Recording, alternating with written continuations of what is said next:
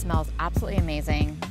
I'm a yoga teacher and I uh, would definitely use this um, to freshen up the room so it's not smelly, um, to spray on my students. When I adjust my students, then it'll smell really good that I'm giving them aromatherapy during Shavasana, for example. Um, this is amazing. You have to get this. This is incredible. Mm, it smells so good.